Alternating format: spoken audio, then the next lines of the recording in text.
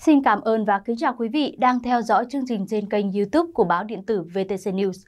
Thưa quý vị, Tòa án Nhân dân Thành phố Hồ Chí Minh thông tin từ ngày 5 tháng 3 đến ngày 29 tháng 4, Tòa án Nhân dân thành phố sẽ xét xử sơ thẩm các bị cáo vụ án Vạn Thịnh Phát. Vụ án Vạn Thịnh Phát liên quan đến sai phạm trong hoạt động tín dụng tại SCB có gần 2.500 tập tài liệu, đóng trong 104 thùng hồ sơ, nặng khoảng 6 tấn với khoảng 1 triệu bút lục. Theo cơ quan tố tụng, bà Trương Mỹ Lan là người điều hành đế chế Vạn Thịnh Phát với hơn 1.000 doanh nghiệp lớn nhỏ trong và ngoài nước. Để có nguồn vốn duy trì hoạt động hệ sinh thái doanh nghiệp khổng lồ này, bà Lan đã tìm cách thâu tóm SCB nhằm biến ngân hàng trở thành công cụ tài chính của mình. Có thể nói, đây là vụ án có tổ chức, điển hình xảy ra trong khối tư, nhiều về số tội danh, bị can, người có liên quan trong một vụ án, nhiều nhất về số tiền tham ô, số tiền đưa và nhận hối lộ, số tiền gây thiệt hại thất thoát, đặc biệt cũng nhiều nhất về số tài sản có liên quan, số vật chứng đã bị phát hiện kê biên, phong tỏa, tạm giữ, số doanh nghiệp sân sau và số bị hại,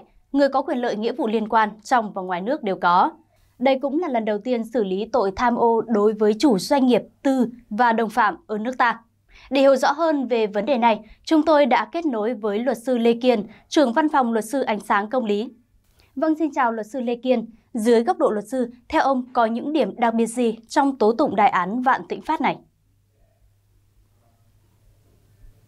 À, chúng ta đều biết là trong vụ án Vạn Thịnh Phát à, mà tòa án nhân dân thành phố Hồ Chí Minh à, sẽ đưa xét xử tới đây thì có rất nhiều cái điểm mà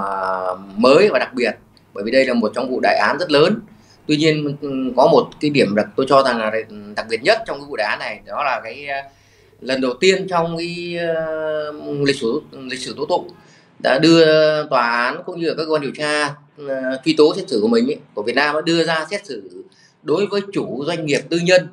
về tội tham mô Đấy, thì trước đây chúng ta đều biết là theo bộ luật hình sự 1999 ấy thì đối với tội tham mô là chỉ bị xét xử đối với những trường hợp mà là uh, các cái uh,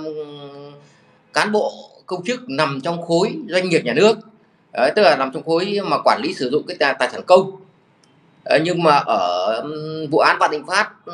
tới thì chúng ta xét xử theo bộ luật hình sự mới tức là bộ luật hình sự 2015 được sửa đổi năm 2017 thì đối với bộ luật hình sự mới nó có điểm đặc biệt là nó có một cái quy định là đối với những trường hợp mà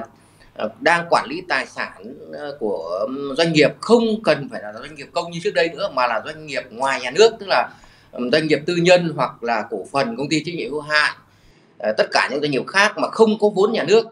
đều có thể bị xử lý về tội tham ô. Và thực tế thì đã có khá nhiều vụ án đã xét xử các cái bị cáo liên quan đến chiếm đoạt cái tài sản tội, về tội tham ô liên quan đến chiếm đoạt cái tài sản làm ở cái doanh nghiệp không nằm trong quỹ nhà nước này. Nhưng thường đó là những cái ờ, cán bộ thôi chứ không phải là chủ doanh nghiệp. Ví dụ như là kế toán, thủ quỹ, thì trong thực tế hành nghề thì đã, chúng tôi đã gặp ừ, một số vụ án, đã xét xử ừ, những cái người này về tội tham ô. Nhưng mà đây là lần đầu tiên trong lịch sử thì chúng ta lại xét xử một người là chủ doanh nghiệp về tội tham ô. Đấy là một cái điểm đặc biệt. Và cái cái thứ hai nữa trong vụ án này chúng ta đều biết là cái số lượng, cái lượng hồ sơ mà tôi ừ, tôi cho rằng là lượng hồ sơ mà các luật sư phải xử lý, phải đọc không như các luật sư đâu mà các cái ờ, cơ quan tố tụng như là kiểm sát viên và thẩm phán phải đọc nó là có lẽ là, là kỷ lục. Nó rất nhiều hồ sơ liên quan đến rất nhiều lĩnh vực đặc biệt là tài chính ngân hàng. Trong cái có lẽ đây là một trong những vụ đại án mà lượng hồ sơ cũng lớn nhất từ trước đến nay. Vâng thưa ông, một điều đáng chú ý nữa trong vụ án Vạn Thịnh Phát là không phải tất cả hành vi vi phạm pháp luật của các tổ chức cá nhân đều bị xử lý hình sự. Những hành vi vi phạm pháp luật nhưng không thỏa mãn dấu hiệu cấu thành tội phạm thì sẽ không đề cập xử lý hình sự, thưa luật sư. Ừ, chúng ta đều biết là một ờ, đối với luật hình sự thì một hành vi bị ờ, chỉ bị xử lý khi đủ các yếu tố cấu thành tội phạm. Do vậy khi mà dù dù mà có vi phạm đến mức nghiêm trọng như thế nào nhưng mà chưa đủ các yếu tố để xử lý luật hình sự thì rõ ràng không thể xử lý cho họ, họ về luật hình sự được tuy nhiên là trong cái vụ án Vạn Thịnh Phát này thì đảng và nhà nước ấy, cũng ờ, Việt Nam cũng đã phân hóa trách nhiệm và miễn trách nhiệm đối với một số cái đối tượng gọi là nhóm thứ yếu và không có động cơ vụ lợi. Đây là cũng là cái tư, tư tưởng mới xuyên suốt trong quá trình giải quyết phòng chống ờ, tham nhũng của ban chỉ đạo của trung ương về phòng chống tham nhũng. Đấy. Ở trong cái trường hợp này thì có rất nhiều những bị can à, có rất nhiều những người mà có thể có hành vi vi phạm nhưng mà xét thấy cái vai trò của họ không đáng kể và họ trình báo phối hợp cơ quan điều tra trong quá trình giải quyết. Cũng như là họ và đặc biệt là họ không có động cơ vụ lợi ừ, thì thường là những người đó được chúng ta xem xét ừ, giảm trách nhiệm hoặc thậm chí không xử lý trách nhiệm hình sự. Vâng, xin cảm ơn luật sư Lê Kiên về những chia sẻ vừa rồi.